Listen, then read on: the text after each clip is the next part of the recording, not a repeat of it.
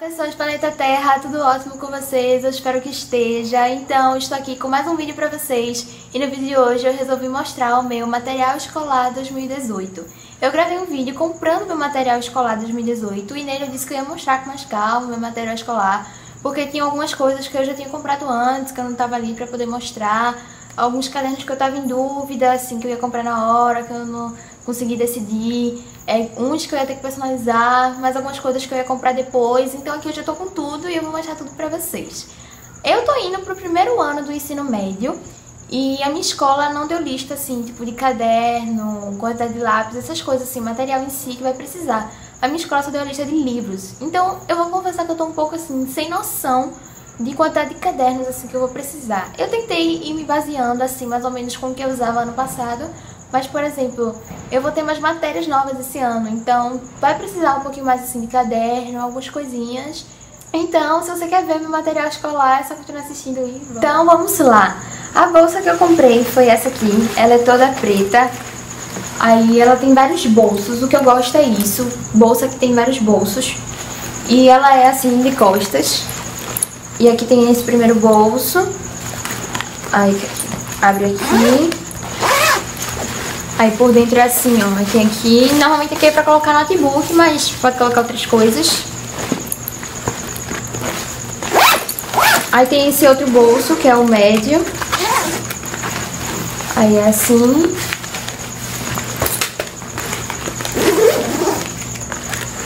E tem um bolsinho menor, assim, tem umas, um colherzinho aqui. É bom porque tem esses três bolsos, um grande, um médio e um pequeno. E tem as divisóriazinhas assim e tal, é muito bom. E essa bolsa é bem resistente, então precisa de uma bolsa grande e resistente para caber todos os livros, todo o material. E essa aqui eu gostei muito. E é preta, é uma cor que eu gosto muito. Na verdade agora a gente esqueci o nome da loja que eu comprei, meu Deus do céu. Eu com essa minha mente, viu? Esqueci.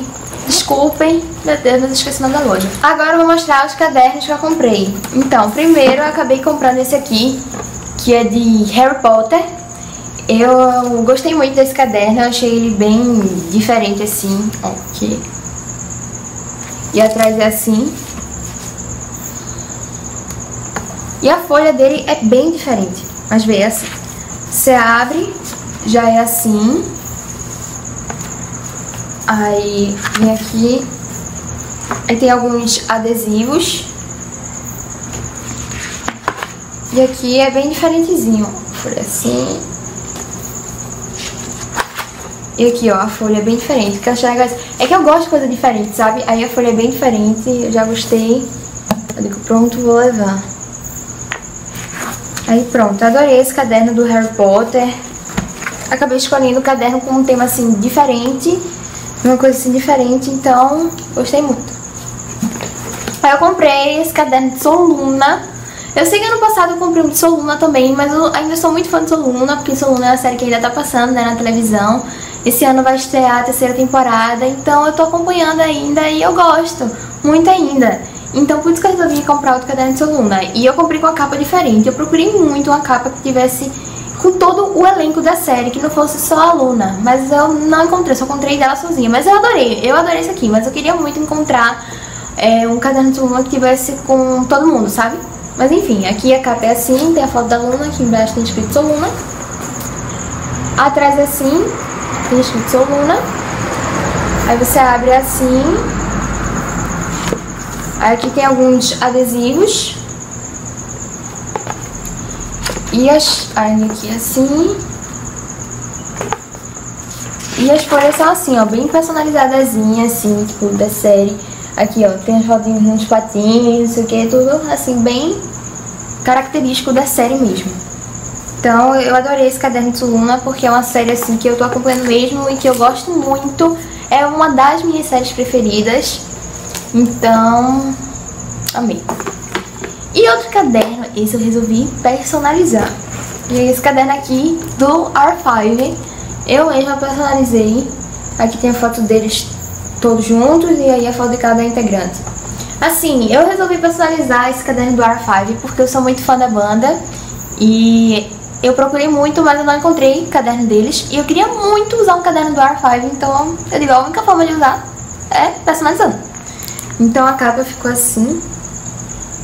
Aí atrás assim. E aqui por dentro é... Por dentro é assim, ó. Aqui tem um saquinho pra você botar, tipo, folha de papel, entendeu? Pra guardar papel. Aqui é assim.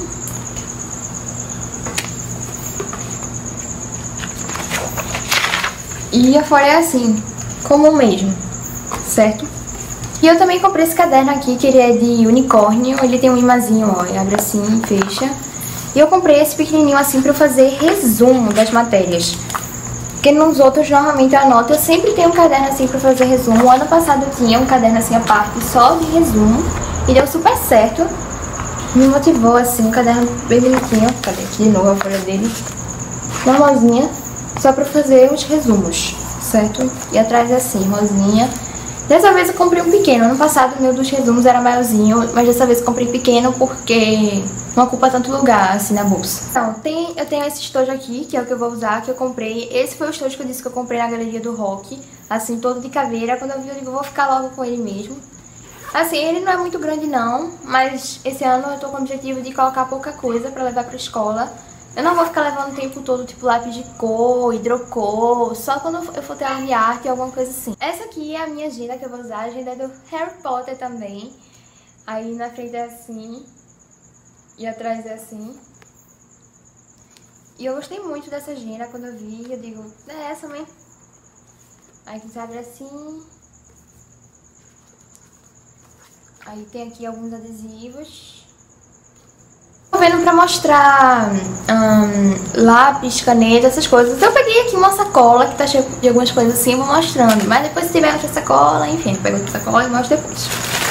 Eu comprei aqui lapiseira, assim ó, feito essa, que já vem com lugar pra depositar lápis. Muito boa. Eu acho melhor, porque você não tem que ficar indo, levantar o tempo todo, pra ir na lixeira, pra fazer a ponta. Aí já fica aqui depois, quando tiver cheio, aí você vai lá e joga no lixo, entendeu? Eu comprei dessas colas aqui, bastão. Eu comprei umas quatro colas. Quatro, três... Não, três. Eu comprei três colas dessa aqui porque usa muito. Usa muito mesmo. Ano passado eu até falei no vídeo que eu comprei quatro e depois ainda precisei comprar mais. É sério. Porque cola é uma coisa que usa muito na escola que você perde que, meu Deus do céu. Eu comprei borracha, comprei dessas assim. Comprei dessa, comprei duas dessa e comprei duas dessas, certo? Então eu gosto muito desses dois tipos de borracha aqui. Eu comprei lápis, desse aqui que já vem com a borracha. É tipo lápis de borracha, é muito bom. Gostei muito desse lápis aqui. Eu comprei marca-texto, comprei um rosa. Comprei esse aqui amarelo também. Eu só comprei essas duas cores porque normalmente é mais amarelo, que fica legal de usar, que às vezes pedem pra você usar. Eu comprei tesoura, tesoura é uma coisa que eu perco muito. Só ano passado eu perdi umas duas tesouras na escola. Perdi, não sei como, mas perdi. Aí eu comprei aqui desses lápis assim que é muito bom pra você fazer trabalho, tipo, eu acredito que esse ano a gente não vai fazer muito trabalho em cartaz, eu acredito. Mas assim, tipo, pra fazer cartaz é muito bom. E às vezes eu faço cartazes assim, não só pra escola, às vezes eu faço os cartazes aí, né? Os cartazes da vida. E aí é muito bom. E aí dessas canetas aqui também a mesma coisa, é muito bom pra fazer cartaz e também pra escrever alguma coisa assim mais importante, sabe?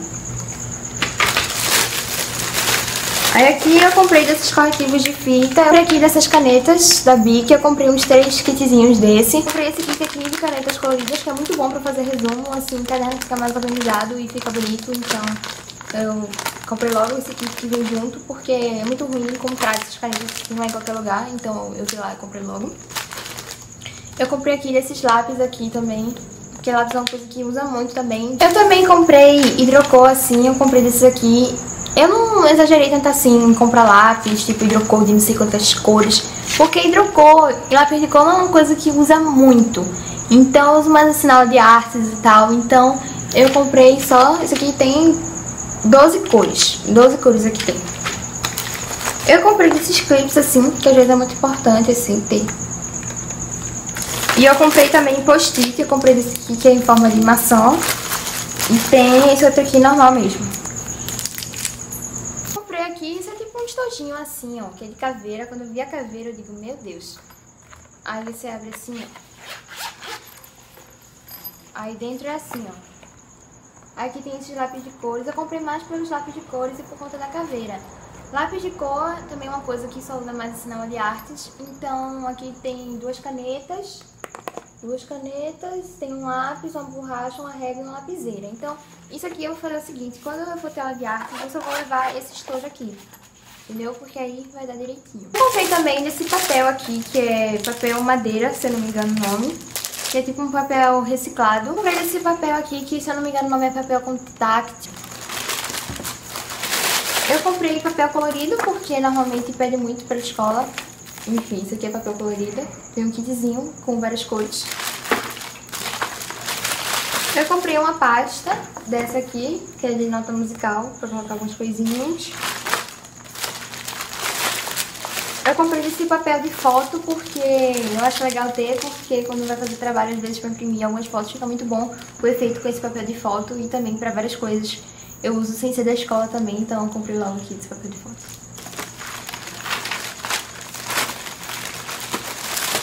Eu comprei umas canetas assim, dessas soltas aqui, porque caneta é uma coisa que usa muito. E por último, eu comprei essa outra pasta aqui pra colocar, tipo, prova, ficha, entendeu? Então, gente, o vídeo foi esse. Espero que vocês tenham gostado de ver todo o meu material escolar, que se inspirem aí Boa sorte para vocês que vão comprar aí o material escolar de vocês. Então é isso, eu vou ficando por aqui. É, não se esquece de me seguir nas minhas redes sociais. Não se esquece de se inscrever no canal que tem um botão aqui embaixo. E não se esquece de apertar assim na mãozinha do gostei.